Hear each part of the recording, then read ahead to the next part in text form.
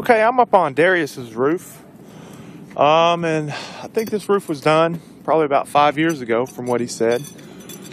Um, when I pulled up on the job, I noticed that um, whoever flashed this chimney I did something uh, I refer to as a Philly flash job, where they didn't cut their reglet in.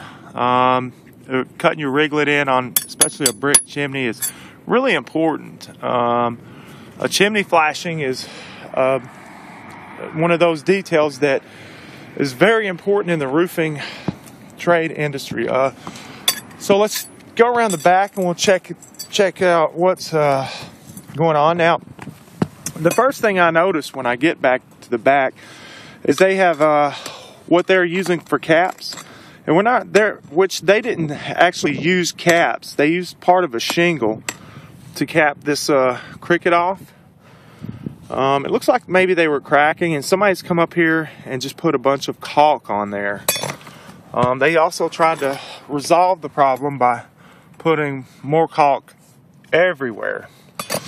Um, if we'll look here, we'll see a water trap where this shingle is, which is, is a bad situation. Um, we'll just keep looking around a little bit more and we'll see that they ran the shingles, um, they staggered them like you would a, a three tab shingle.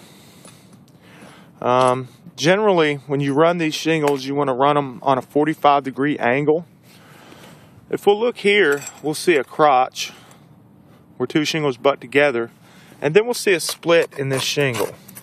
Now, if we lift this up, the head we can see the headlap on the bottom shingle ends, and there's a split that will allow water to go in.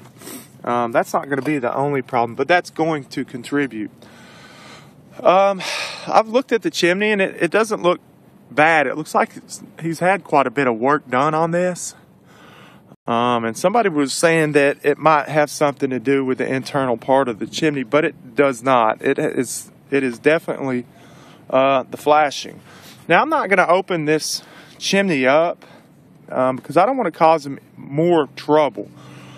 Um, but I can tell you this is a, a very terrible um, chimney flashing job. I would recommend reflashing this entire chimney um, we'll just work our way around a little bit more. Uh, it looks like somebody has came up here and used some kind of caulk, some kind of fabric on this. Um, in which that's that's no way to fix any problems. These corners don't look good at all. Um, it just looks like a really terrible uh, flashing job that's indigenous to the Philadelphia area. Um, you can see the caulk is starting to wear out. And, um, even right here, you know, the caulk's starting to wear out. So I'm gonna take this video and I'm gonna I'm gonna show it to the homeowner, and then we'll go from there.